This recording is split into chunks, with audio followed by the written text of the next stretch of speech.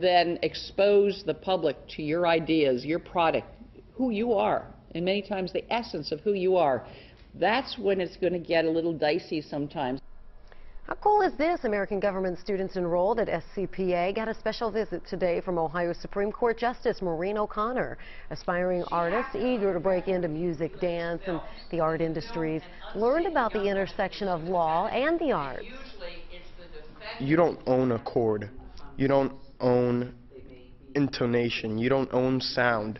Um, what you make through music is usually ideas and little bits and pieces from um, other ideas that artists uh, have created. I mean, I'd like to give out my ideas to people, but not for them to present it as theirs.